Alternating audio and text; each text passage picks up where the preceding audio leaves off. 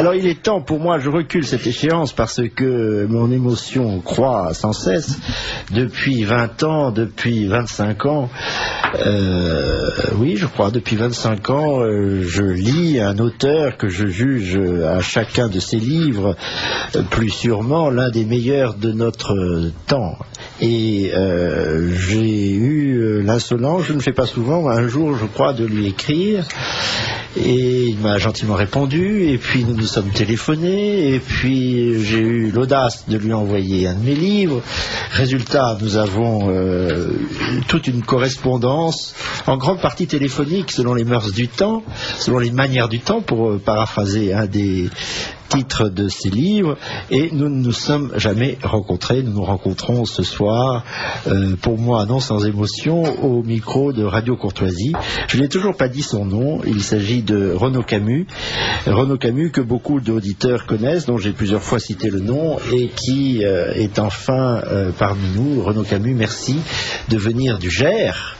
Euh, où vous habitez euh, depuis, je crois, une quinzaine d'années, au château de Prieux. Vous allez nous en parler, euh, de même que vous devriez nous parler, puisqu'on peut commencer par cela, je n'y avais pas pensé, de l'exposition d'où vous venez, cher Renaud Camus. Je crois que vous avez été invité, et vous êtes de ce point de vue-là un privilégié, à l'inauguration aujourd'hui même, avant de nous rejoindre, du musée des arts premier, qui est branli, j'allais dire art dernier par euh, une facétie un peu sotte euh, et par méchanceté pour le président de la République, mais voilà enfin quelque chose qui m'a l'air de tenir la route de la part du président de la République. Est-ce que vous pouvez, avant toute chose, avant d'en venir à votre vie et à votre œuvre, cher Renaud Camus, euh, nous dire vos, impressions, pardon de la banalité de la question, après cette visite très officielle du musée des arts premiers qui est branli alors mes impressions sont, très, fraîches, peut-être même un peu trop, puisque vraiment j'ai directement du musée du Quai Branly que je visitais avec le, je veux dire, le, plus grand intérêt, mais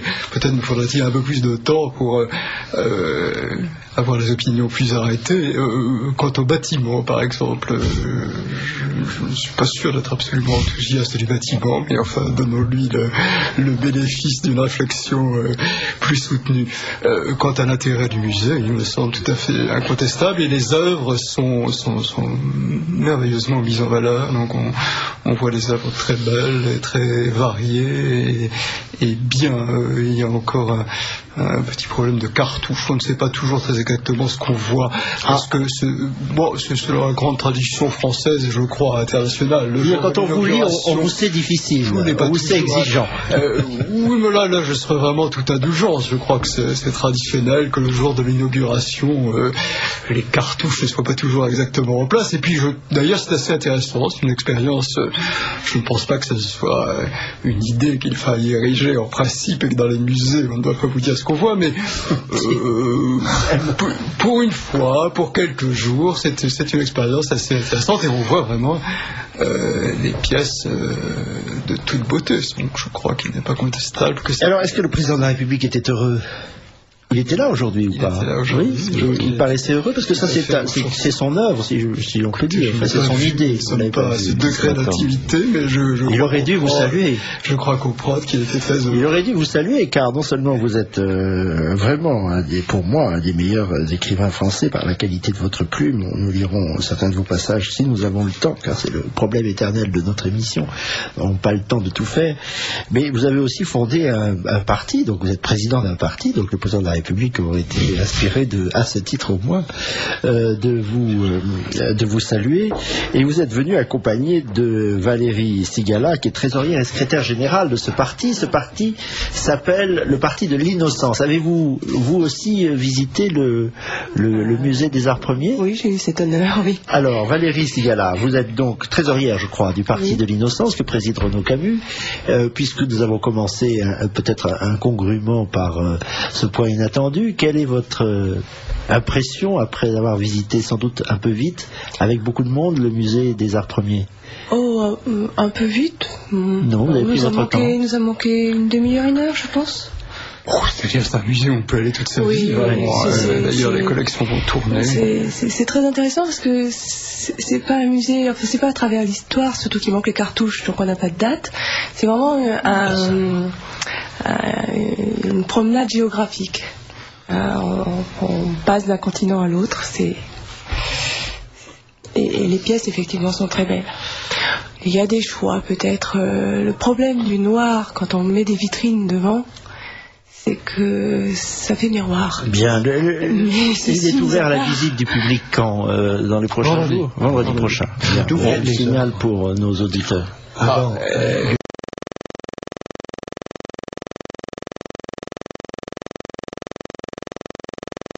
de l'homme En grande partie du musée de l'homme, puisqu'il n'a pas été sans causer quelques tirages entre ces Alors, nous avons rejoint euh, Alain, Clerval, qui parle, comme d'habitude, sans qu'on lui donne la parole. Je parlerai quand je voudrais. Non, pas du tout, quand je vous le dirai. Ainsi que Gilles Brochard, qui a demandé avant vous, Alain Clerval, la parole, et je la lui donne. Oui, alors, moi, je, suis intéressé par ce qu'a dit euh, Renaud et, et Madame Sigala. Euh, il faut dire qu'il y a un dixième des œuvres emmagasinées pour ce musée qui sont présentés, d'après ce que j'ai compris. Moi, j'ai un regret, Paul-Marie Couteau, vous qui êtes passionné par le patrimoine. On avait un musée exceptionnel à Paris qui n'a jamais été mis en valeur depuis 40 ans, qui est le musée de la Porte Dorée. Ah et qui était un musée exceptionnel. D'abord par sa, sa taille, sa géographie, son architecture, et ensuite par le contenu. Et je trouve qu'on aurait dû, vous savez, chaque président, en effet, euh, tient à mettre une pierre, à ajouter un musée de Georges Pompidou à, François Mitterrand.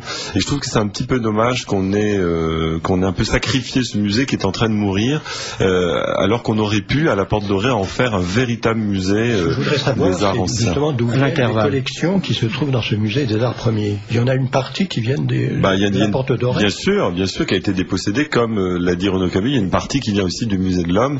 Et puis Est-ce que ces deux musées, le musée de l'Homme et le musée de la Porte Dorée, ah bah, le musée tout subsiste fin Ah non, non, le musée de l'Homme, c'est fini, on ne parlera plus de ces arts-là.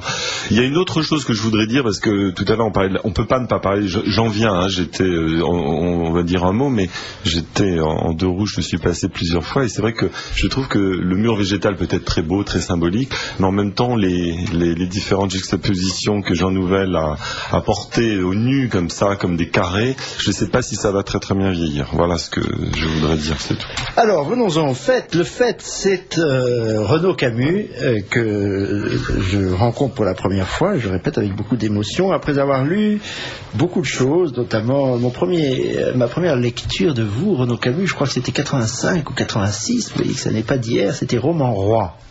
Ah et euh, j'ai ensuite lu vos journaux. Alors vous êtes très célèbre pour vos journaux. Vous prétendez que vous ne l'êtes pas, mais euh, il y a autour de vous un cercle de fanatiques qui, euh, d'autant que vous êtes très prolixe, finalement finissent par ne plus lire que du Renaud Camus. Et vous avez, vous êtes si prolixe, vous avez déjà publié trois, trois livres depuis le début de l'année. Nous allons en parler. commençons peut-être par le, le dernier paru, si j'ai bien compris, aux éditions Priva. C'est pas le dernier paru. Il y en a encore un depuis alors. Je crois que le dernier est un volume de journal. Bah, c'est celui que j'ai sous les yeux là. Hein, ça c'est le plus récent. Un mort. Ah bon alors. Vous publiez votre journal chez Fayard. Oui c'est ça oui. Longtemps euh, chez Paul. il faudrait dire encore chez Paul. Longtemps, le journal a été publié chez Paul et le dernier, je crois que c'est pas le, seul, euh, le dernier journal, vous le publiez chaque année avec trois ou quatre ans de retard. Je crois que c'est le 2003, 2003 aux éditions euh, Fayard. Et alors, je vous suis depuis des années et des années dans vos pérégrinations.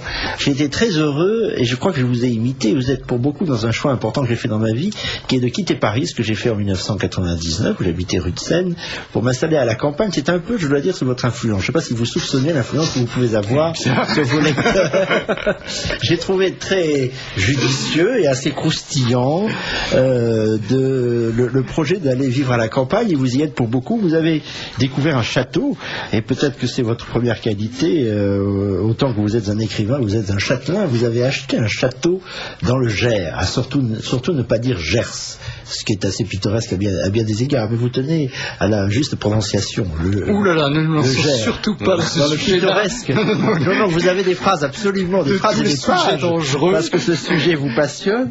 Vous avez des phrases terribles contre les pauvres gens qui disent gère. Non, non, non, absolument pas. Je proteste absolument aucune phrase. Les gens qui disent gère, on sont n'ont aucun, aucun inconvénient à ce qu'on dise Gers. C'est tout à fait dans l'autre sens, qu'il y a peu de tolérance.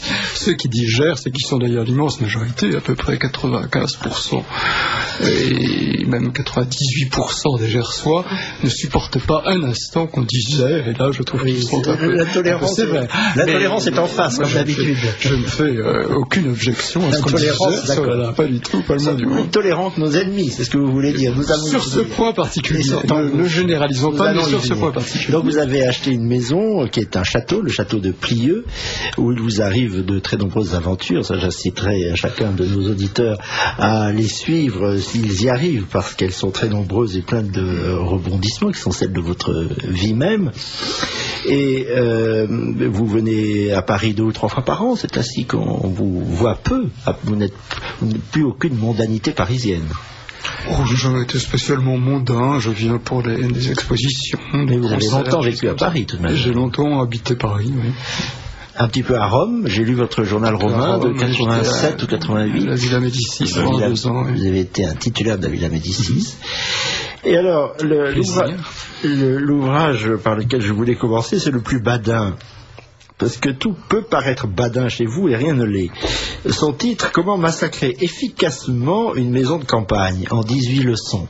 Alors évidemment, j'ai lu ce, livre avec plaisir parce que, là encore, vous avez une grande influence sur moi, euh, vous m'évitez des bêtises. Parmi ces leçons, il y a faire une piscine. Mais ça, rassurez-vous, j'ai jamais eu l'idée de construire dans mon prieuré, du 15e siècle une piscine. Par contre, une partie de ma maison, plus modeste que la vôtre, et très ancienne. Le château de Plieux est, quelle, quelle, période d'ailleurs? 1340. 1340, mais vous battez, mais vous battez mon prieuré 1411. J'ai décidément battu à pas de couture sur tous les sujets avec vous. Mais votre première leçon m'a évité une bêtise. La première leçon que vous donnez pour euh, massacrer efficacement une maison de campagne, c'est décrépir. Ah oui, alors ça, en effet. J'ai failli décrépir, tout au moins décrépir ma maison. Une partie qui était décrépir mal, mal, pas seulement pour la maison, mais pour la France, monsieur. Alors dites-moi, expliquez-nous un peu votre aversion, que je partage maintenant, mais alors vous m'avez complètement changé d'avis, euh, sur le crépi. Philippe Soler s'est obsédé par la France rancie, dont je suis à ses yeux l'un des meilleurs représentants. Oui, très méchant avec vous. Moi, je suis vous en flattez, réciproquement. Vous en Et moi, je suis obsédé par la France pelée, qui me semble vraiment un drame épouvantable. C'est que la France est en train de, se donner l'air de, on dirait, ces, ces, femmes nonagénaires qui se montrent en jupette. Euh, euh, toutes maquillées et se donnant l'air d'être des, Lolitas, je, trouve absolument alors évidemment un des motifs c'est quelquefois mais non que quelquefois les, crépis sont laids tous les crépis ne sont pas beaux.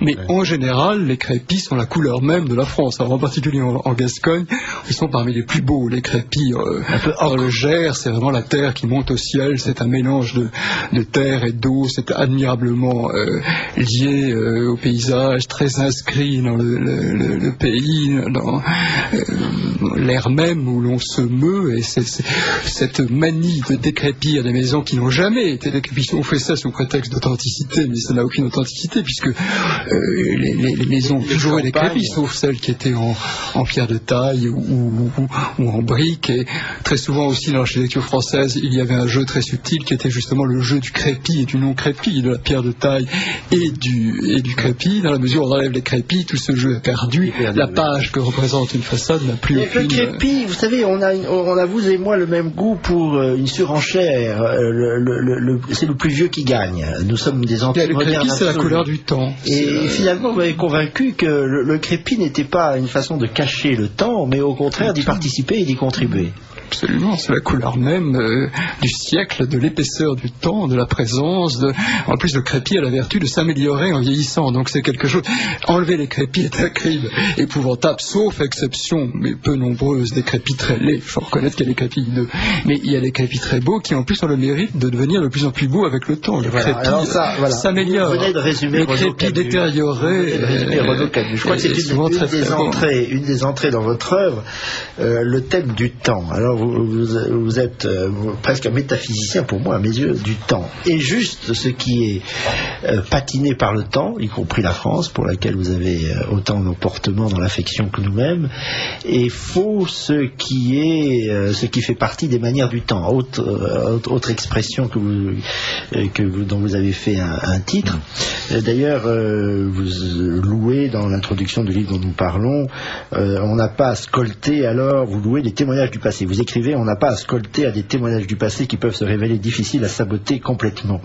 Et euh, le livre s'ouvre euh, à propos du, du, crépi par une euh, diatribe terrible et extrêmement drôle. Bien entendu, au moment de la lire, je ne vais pas la trouver. Vous n'y aurez pas droit. C'est la plus longue partie sur le crépi. On, ne va pas y rester.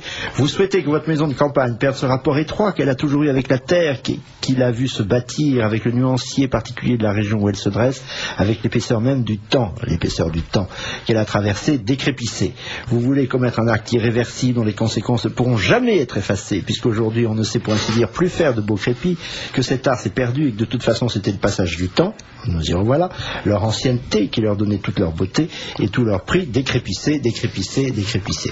Je laisse les auteurs, les, auditeurs découvrir euh, ce livre. C'est horrible livre, je, veux quand même des, excuses aux, lecteurs éventuels. Il y a des extraordinairement Il y a des photographies un peu étranges. Je décline toute responsabilité pour son apparence physique, qui est un peu paradoxale quant à un livre qui est quand même relève de l'esthétique. Il y a autre chose chez vous, vous prononcez le mot esthétique, vous êtes un esthète, un esthète pur. Mais alors les esthètes sont des gens intraitables et terribles. C'est-à-dire que vous vendez pur ou impur. Non, non, vous êtes vous êtes intraitable sur l'esthétique, notamment vous souffrez comme si la blessure vous était infligée de voir les paysages de France euh, salis, abîmés par euh, des comment appelle-t-on ça des stabulations. Ah les stabulations. Vous avez une détestation particulière, moi aussi d'ailleurs, moi en Poitou et vous dans le Gers, donc pour les stabulations.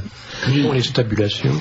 Alors, les stabulations, c'est un mot que j'ai appris assez récemment, donc j'en fais grand usage parce que c'est précisément le bête noir. Un zèle de novice. Oui, oui, absolument. La stabulation, c'est ce qu'on appelait plus vulgairement les hangars.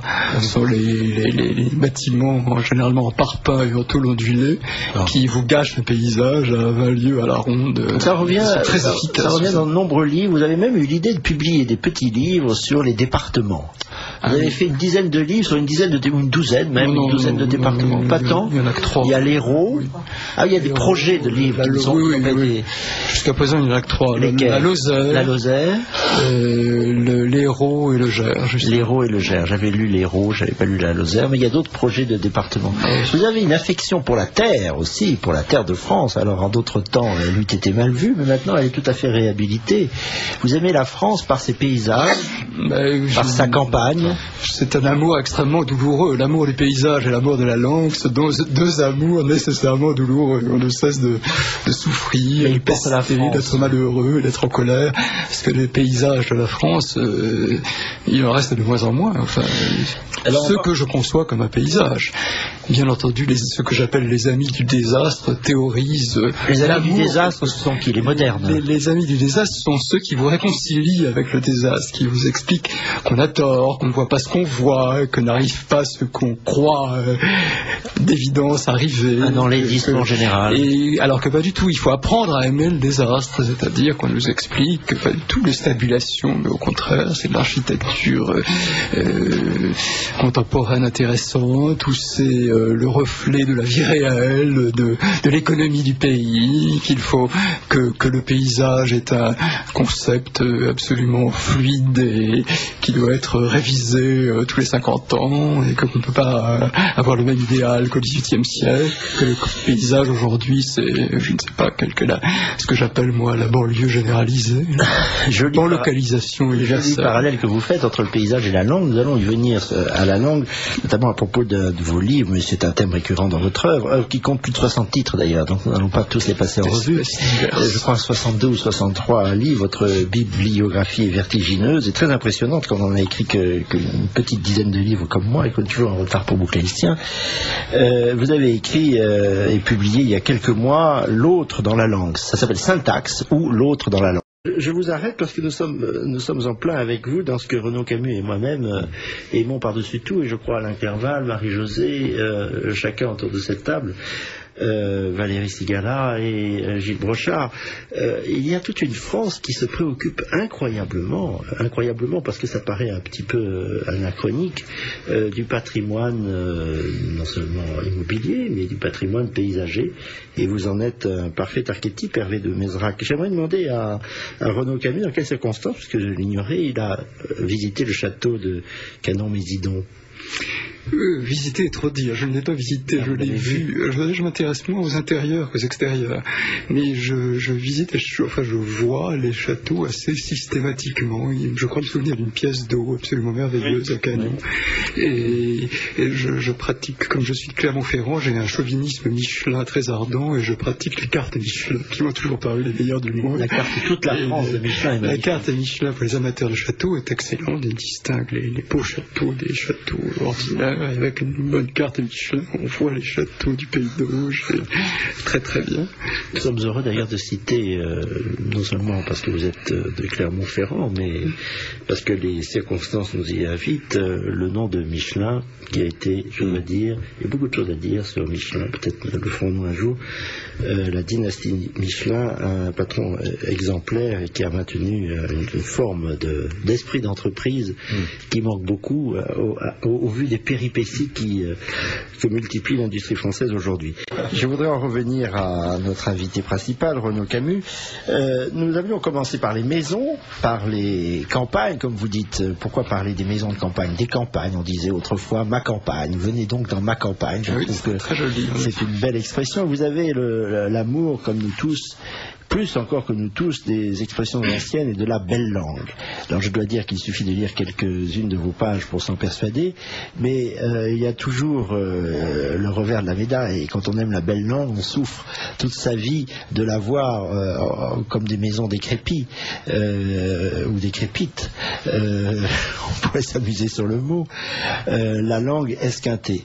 Et dans votre ouvrage Syntaxe ou l'autre langue paru chez Paul aux éditions Paul il y a quelques mois, vous partez alors après, les considérations sont très savantes, euh, car euh, vous êtes un, presque un, enfin vous êtes un Barthésien, on pourrait dire, depuis vous. Vous avez connu Roland Barthes, je crois. Vous l'avez connu personnellement. je crois que la, question de la langue est une, aussi centrale dans votre œuvre.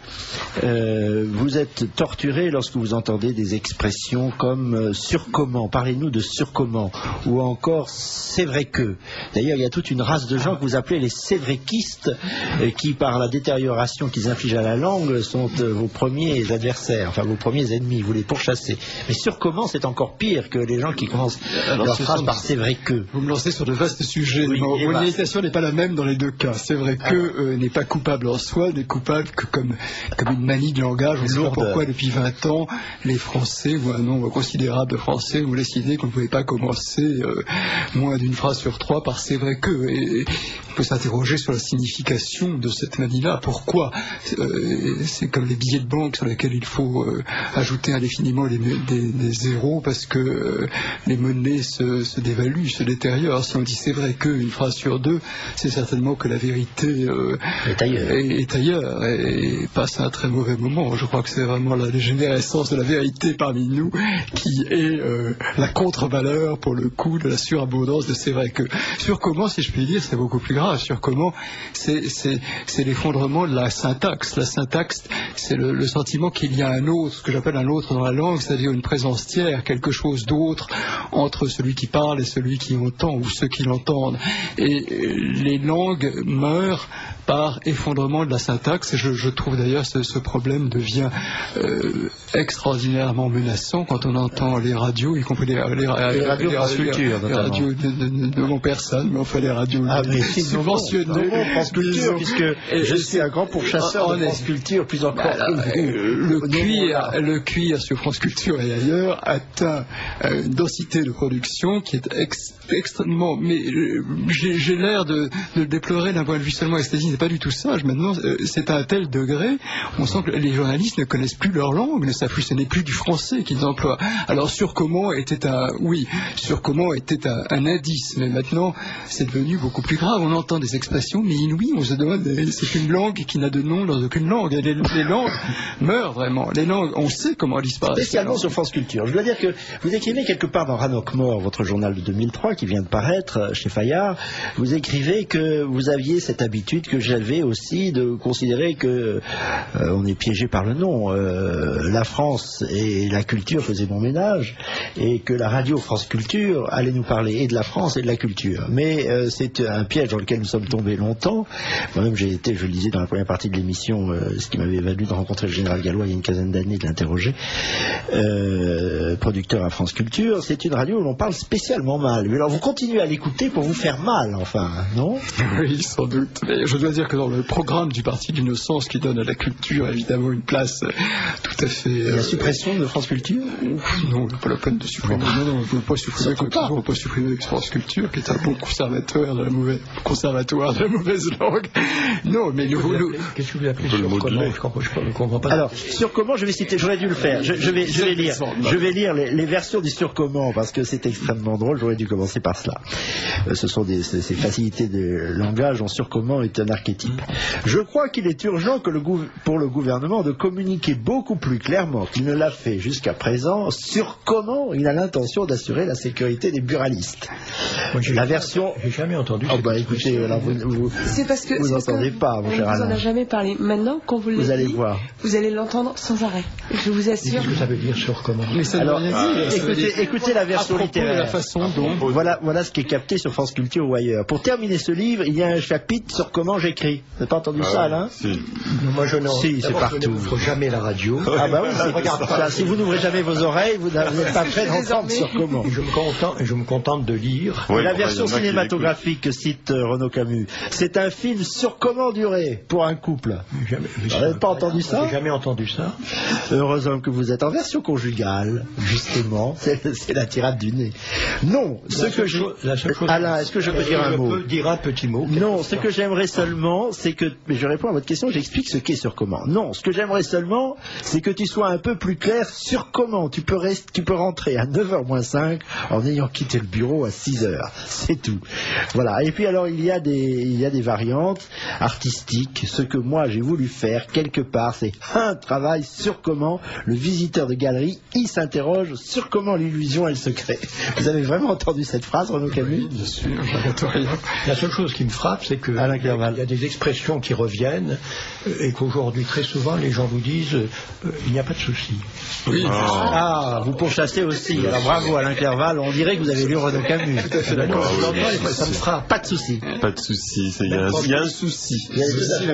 Pourquoi tout d'un coup parle-t-on sans arrêt Alors, il y a autre chose aussi qui est insupportable, surtout dans le milieu de l'édition ou le milieu de la presse, c'est on vous demande, maintenant quand vous allez dans une réunion, vous dit, au lieu de vous demander pour quel journal vous travaillez-vous, on demande pour quel support travaillez-vous. non mais c'est quand même hallucinant. Alors il faut aller vite, vous permettez, je finis la phrase. Nous insistons beaucoup dans notre programme au Parti d'innocence sur la nécessité de la création ah. de, de radio et de chaînes de télévision culturelles, puisqu'elle n'existe pas. Il est très important qu'il y ait en France et, en Europe d'ailleurs, une, une, radio et une, une, chaîne de télévision culturelle. Alors nous allons. C'est essentiel de notre programme. De fil en aiguille en arriver au parti de l'innocence. Euh, vous, à propos des paysages d'abord, puis à propos de la langue, vous pourchassez les détériorations euh, si rapides, dites-vous. Elles sont rapides et nous les ressentons tous dans notre cœur, je dois dire, spécialement ici à Radio Courtoisie, les détériorations de ce qui fait l'art de vivre français, de ce qui fait la civilisation française. Un mot d'ailleurs qu'on devrait réhabiliter plutôt que de parler bêtement de société française. S'il y a quelqu'un qui connaît et qui honore la civilisation française, c'est bien vous. Vous imputez euh, ce désastre, le mot il revient souvent sous votre plume, à cette grande machine qu'est l'éducation nationale. Là, je dois dire que vous êtes intraitable avec euh, l'éducation nationale et les professeurs, qui sont même pas des professeurs, mais des profs. Des professeurs, soit des profs, soit des enseignants. Le terme étant aussi malencontreux dans un cas que, dans l'autre. Euh, alors, pardon d'y revenir, mais en effet, le, parti d'innocence euh, euh, accorde la plus grande importance à toutes les questions liées à l'enseignement. C'est central dans notre programme. Et la situation nous semble si catastrophique que nous sommes partisans, au moins à titre provisoire, de ce que j'appelle le triple volontariat, c'est-à-dire que euh, les professeurs, les parents et les élèves qui le voudraient se euh, verraient allouer des collèges et des lycées où ils pourraient pratiquer euh, l'enseignement tel que nous le souhaitons, c'est-à-dire hiérarchisé, autoritaire, classique, chronologique. La de la détérioration de l'enseignement remonte en fait au structuralisme parce que les professeurs ont appliqué des méthodes qui relèvent du mécanisme pour décomposer les textes. Je le vois, parce que j'ai des petits-fils. Dont l'application est la méthode globale. Autrefois, on enseignait l'histoire, et l'histoire de la littérature dans un ordre chronologique. Aujourd'hui, beaucoup de jeunes gens, d'adolescents, ne, savent même pas, ne savent rien du siècle Louis XIV ou de Louis XV. D'abord parce qu'on a cessé d'enseigner l'histoire dans sa chronologie. Et puis en ce qui concerne la littérature, quand même, c'est grave parce que ce n'est plus l'histoire de la littérature qu'on enseigne, c'est simplement, euh, je ne sais pas comment dire, une sorte de mécanique qui consiste à décomposer un texte à partir de certains thèmes, comme si, euh, quand même, je dois dire que les structuralistes et les sciences humaines ont, fait beaucoup de mal à, l'enseignement. Parce que les, enseignants influencés par euh, des noms prestigieux, euh, commençons par Derrida, mm. en pathologie, la déconstruction, toutes ces mm. théories-là, et eh ben on est arrivé en effet à déconstruire, Genette, à décomposer. les influences. Ce qui n'est pas une critique de Genette, ce sont plutôt les épigones. C'est ça, c'est les épigones qui font des dégâts. Il faut dire aussi que même Roland Barthes a contribué dans une certaine... Bien qu'il ait l'amour de la langue... Et qu'il fut un de vos amis. Et Ferdinand de Saussure aussi. Ferdinand c'était différent. Ah. alors, excusez-moi là, un, moment. Euh, euh, euh, Renaud Camus incrimine les profs et de façon assez originale. je trouve très intéressant les nombreux passages, il y en a pas mal, dans, votre journal, dans, votre, dans vos journaux, dans le, dernier, Ranok Mort, où vous décrivez des professeurs qui se dévalorisent sans cesse eux-mêmes et qui ne sont plus en situation d'apporter quoi que ce soit aux élèves. Vous reprenez d'ailleurs une critique qui est faite par l'un de vos amis, euh, quelqu'un qui, vous, qui vous admire d'ailleurs, il me l'a dit lui-même, qui est Alain Fickelkraut. Je l'ai rencontré à propos d'un entretien que nous publions avec lui et Paul Thibault euh, dans le premier numéro des Cahiers de l'Indépendance. Je signale aussi, puisque je parle de cette euh, revue bien aimée que vous nous avez accordée, fait un très beau cadeau, un très beau texte, Renaud Camus, qui sera publié. terrible, terrible, nous allons y venir alors cette fois sur l'antiracisme que vous accusez d'être le communisme du XXIe siècle. Alors je dois dire, vous parliez d'Alain Finkielkraut, que l'expression est, est d'Alain Finkielkraut. C'est lui qui, a pourfendu. Et je lui emprunte, je lui emprunte. Pour en rester... Pierre-André Taguieff aussi, je crois, avait parlé un peu du même thème, non? Différemment. Cela étant, euh, oui, il en a parlé en tant qu'il est, professeur. Je voudrais que vous euh, explicitiez votre... que vous expliquiez tout simplement la critique que vous formulez aux professeurs à l'attitude des professeurs qui ne sont plus dans leur manière d'être, dans leur langue, dans ne serait-ce que leur tenue vestimentaire des professeurs. Alors je dois dire, si j'ai le droit à un petit chapeau, que euh, parmi les personnes qui s'inquiètent de l'état extrême de détérioration de euh, l'éducation nationale, généralement on se soucie, je pense que dans le cas c'est légitime, surtout des élèves. On dit mais ils n'apprennent plus rien, ils sont très ignorants. Mm. Je crains que depuis le temps que l'on se plaint de l'état déplorable des élèves, il ne soit passé aux professeurs, certes pas à tous, mais euh, je ne suis pas certain que le corps enseignant en France soit dans un état intellectuel et même pédagogique, avec tous les guillemets qui s'imposent, extrêmement brillant. Et, en particulier, euh, un de mes grands ennemis euh, parmi les thèmes est ce que j'appelle le soi-mémisme, c'est-à-dire cette manie d'être soi-même. D'ailleurs, un professeur me disait très drôlement la semaine dernière qu'il avait en première classe une fille en ce moment, une adolescente qui portait euh, un t-shirt sur lequel il y avait écrit 100% moi, ce qui est le comble du soi-mémisme et dont je m'étonne évidemment. Et, les professeurs eux-mêmes sont, sont, sont terriblement eux-mêmes, comme s'il n'y avait rien de plus flatteur au monde et de plus noble que d'être soi-même être soi-même, c'est un idéal à poursuivre, comme l'innocence, justement.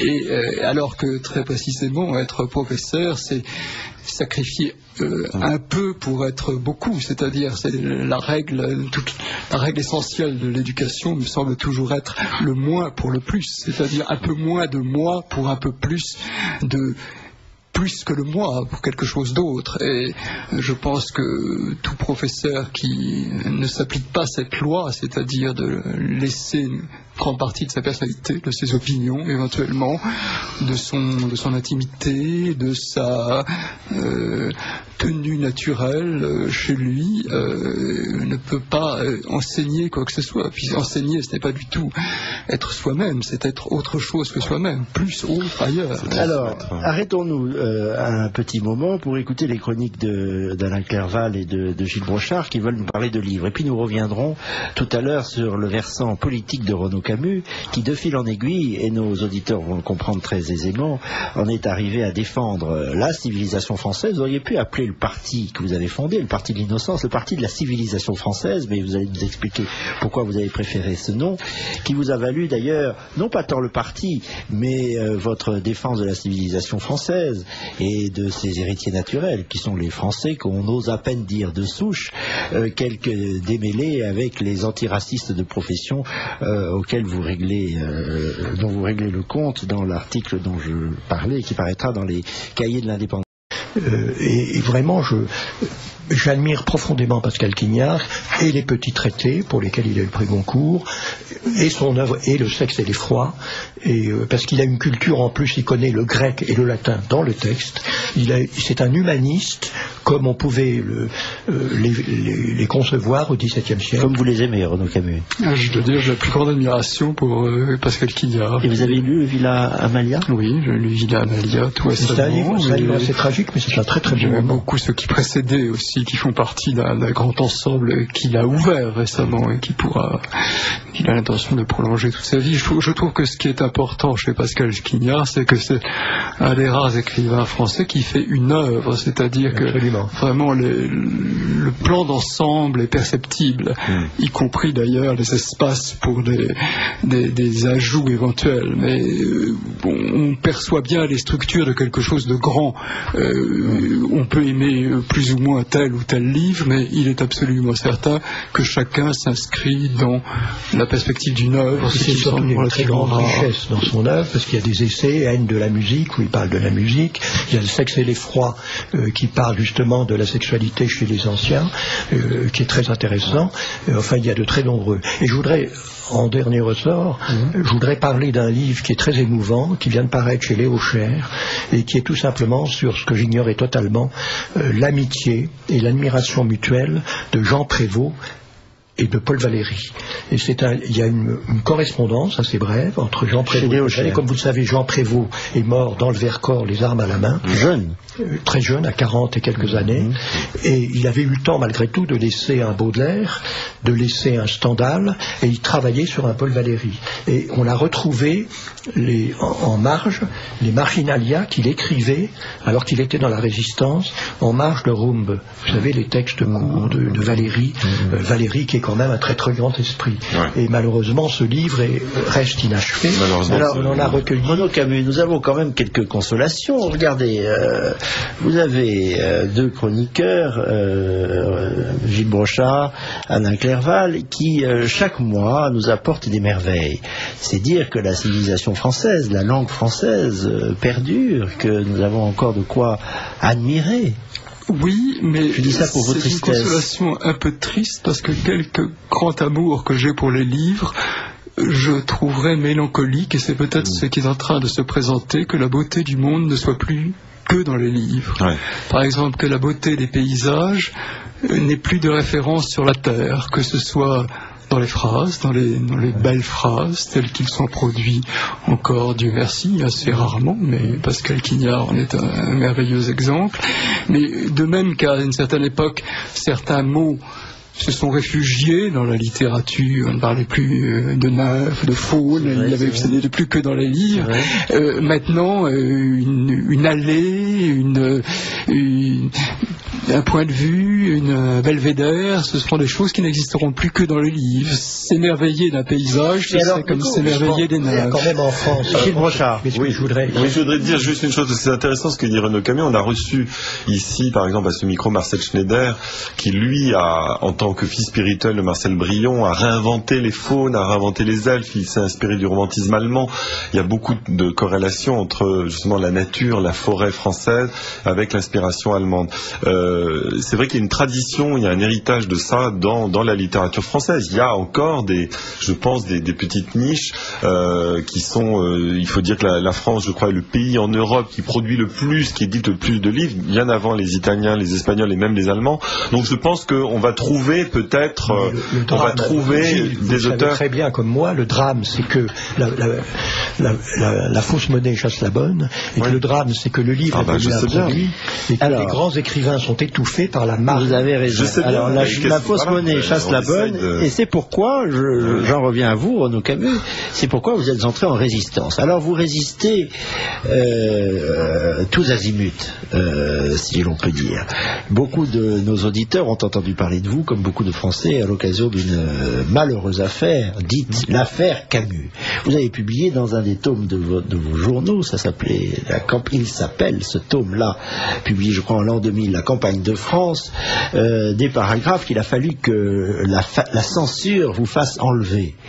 Justement, c'était... Euh, à l'éditeur. Oui, oui, oui, vous n'y avez pas consenti d'ailleurs, c'est tout à votre honneur. Racontez-nous en quelques mots, hélas, oh, le temps passe beaucoup trop vite, l'affaire Camus. Oh non, on ne peut pas se relancer là-dedans. Non, non, alors là je refuse absolument l'affaire Camus. Non, on ne part pas de ça. C'est intéressant. Attendez, je, vais, je, vais le faire. radio, on me refait le non, coup. Non, je vais pas, le faire. Radio, non, non, pas radio courtoisie. Je vais le faire. Je vais le faire. C'est vieux de 6 ans, pas reparler. Non, mais je vais le faire parce que lorsque je dis, lorsque je dis que nous vous invitons, tout le monde me dit, ah, vous avez parlé de l'affaire Camus. Je, je, ah je voulais, vous voyez. C'est un peu téléphoné.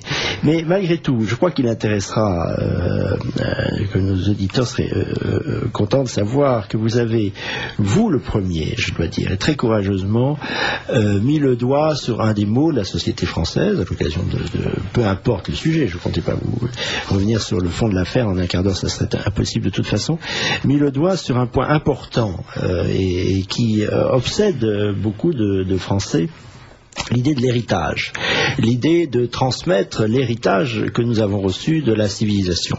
Et de pouvoir le transmettre, nous parlions tout à l'heure de l'éducation nationale, de pouvoir le transmettre euh, à nos enfants, à ceux qui viendront euh, après nous.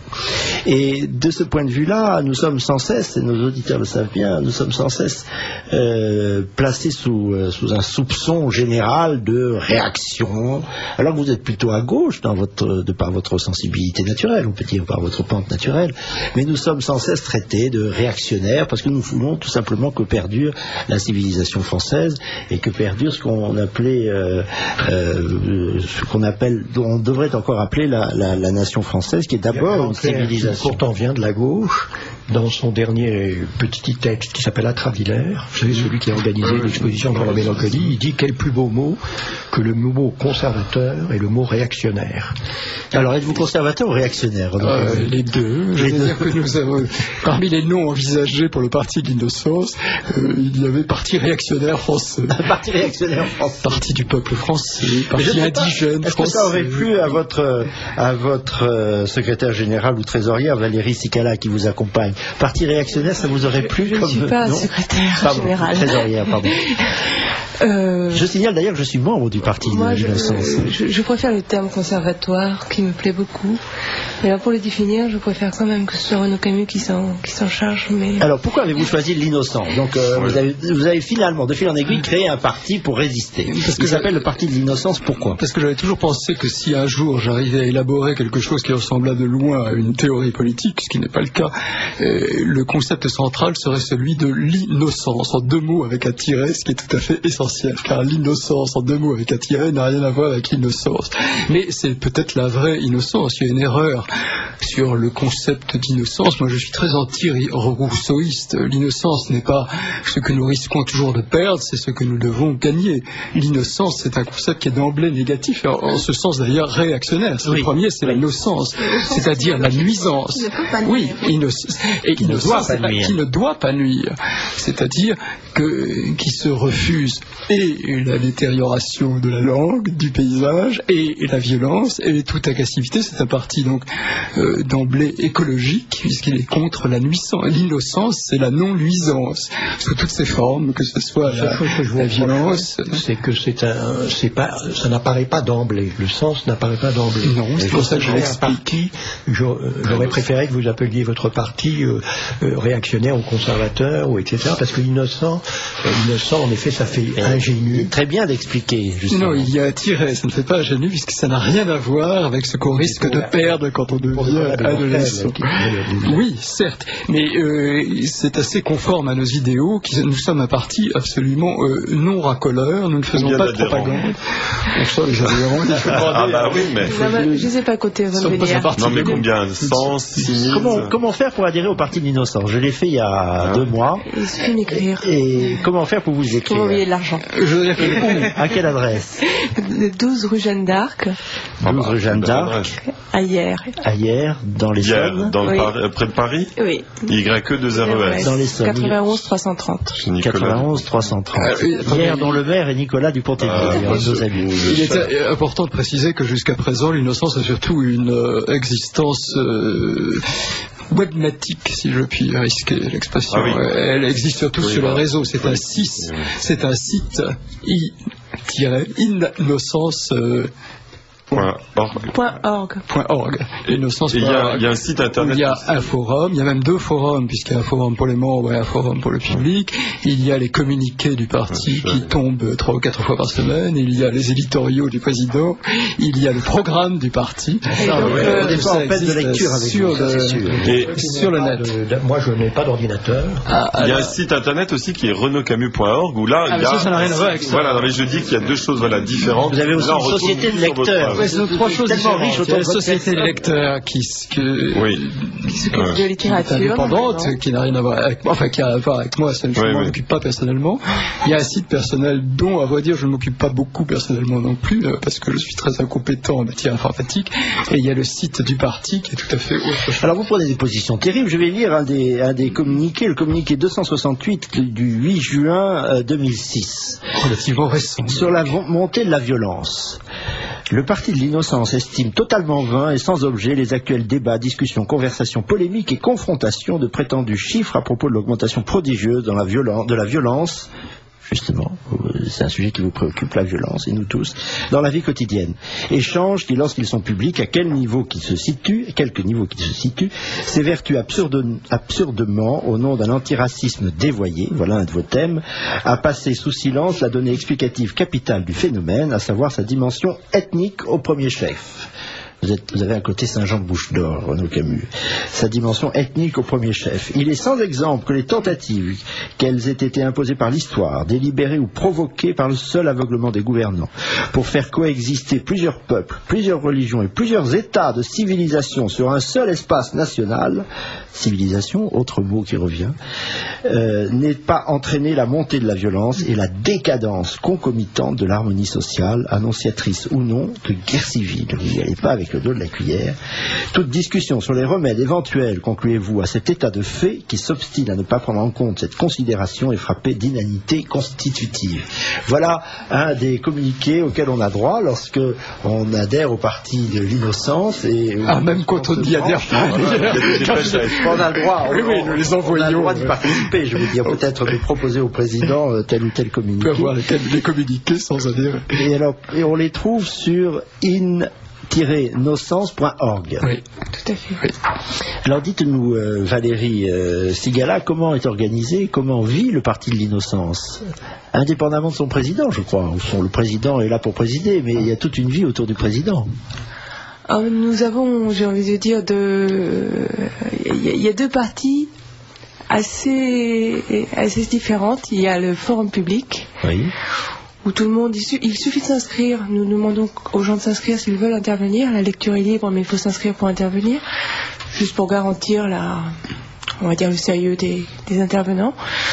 Où l'on peut venir discuter des sujets qui tiennent à cœur. En général, les sujets qu'on n'arrive pas à aborder ailleurs, sujets qui peuvent fâcher généralement euh, en d'autres lieux. Et les adhérents ont accès au forum privé nous débattons des communiqués, où nous prenons ce genre des nous discutons parfois de quelques points délicats. Généralement, nous sommes plutôt d'accord. Vous avez une aile gauche, et une aile droite. Généralement, nous sommes plutôt d'accord. Valérie est l'aile gauche. Valérie l'aile gauche du parti. Mais il se produit quelque chose de très étrange dans, ce parti qui, qui m'étonne toujours, c'est que finalement, plus à droite et les plus intervenants sont sur le forum euh, public. Et je trouve que les adhérents sont un petit peu plus à gauche que la vitrine public. Ah, ce qui est très étonnant. je ne sais pas Les adhérents participent au communiqué, à l'élaboration des communiqués et du programme, donc ils sont peut-être un peu plus modérés. Gilles, vous voulez nous parler d'un livre Vous avez 30 secondes. Car oui, ça rendre l'antenne. C'est dommage parce que je, d'abord je voudrais dire simplement un mot de. Je vous vois avec le livre de Camus. Oui, parce que je bon, je l'ai, lu en partie. Malheureusement, je l'ai eu trop tard parce que j'étais en voyage et que je l'ai eu très très peu de temps. Euh, c'est un, évidemment un journal de 2003. Euh, tout à l'heure, on parlait des jardins, on parlait de la langue. Euh, c'est aussi un éloge de la nature, comme vous l'avez dit. Euh, c'est un éloge et tout ça s'imbrique. Hein, ça peut paraître décousu ce qu'on a dit tout à l'heure sur les jardins, sur les châteaux, sur la langue, sur le style, sur l'esthétique de la langue. Tout ça s'imbrique. C'est ça qui est formidable chez Renaud Camus. Je trouve que vous avez gagné même en épaisseur parce que je pense que depuis quelques années euh, vos, journaux s'épaississent et, et il faut du temps pour les lire d'une certaine manière. Donc on reçoit comme ça une avalanche de livres et en même temps, bon, c'est votre travail en plein temps, si j'ose dire. Euh, parce vous écrivez a... 15 heures par jour, oui. c'est pas possible. Comment pouvez-vous publier euh, un livre tous les deux mois, tous les trois mois? C'est on a le vertige. Mais il ne regarde pas la télévision, Renaud Camus, c'est déjà bien. bien pas tellement, hein, parce que vous critiquez beaucoup. Bah oui, mais c'est critiqué. Oui, mais pas beaucoup. Hein. Voilà. Voilà, il faut que nous rendions l'antenne la prochaine fois. Mon cher hein. Gilles, il faut que vous me pardonniez. Bah nous n'avons pas, nous n'avons pas assez de temps pour parler de Paul Morand. Je rappelle simplement que nous avons parlé dans la première partie du livre de Pierre-Marie Gallois, Londres, pardon, Vichy, Alger, Londres, aux éditions L'Âge d'Homme, ainsi que du Bismarck de la Prusse à l'Allemagne de Jean-Paul Bled aux éditions Alvic. Notre euh, grand invité de la seconde partie était Renaud Camus, qui a publié récemment, parce qu'on ne peut pas citer les 60 titres, aux éditions Priva. Euh, nous n'avons pas parlé de ce livre, bien qu'il soit très intéressant et très croustillant et un peu explosif, La dictature de la petite bourgeoisie, ainsi que, sur un mode plus euh, léger, Comment massacrer efficacement une maison de campagne, ainsi qu'aux éditions Paul, Syntaxe ou l'autre dans la langue, sans oublier chez Fayard le journal Rano mort. Voilà, qui est un clin d'œil à, l'Écosse. Il y a un livre que j'aime beaucoup de Renaud Camus qui est Buena Vista Park aussi. Je pense qu'il est peut-être épuisé, je ne sais pas. Je pense que là, on va mais, faire les gros yeux si je ne fais pas l'annonce. Ici, Radio Courtoisie. Merci, mes chers auditeurs, et pardon d'avoir un peu débordé sur l'horaire imparti. À bientôt. Ici, Radio Courtoisie, la radio libre du pays et de la francophonie.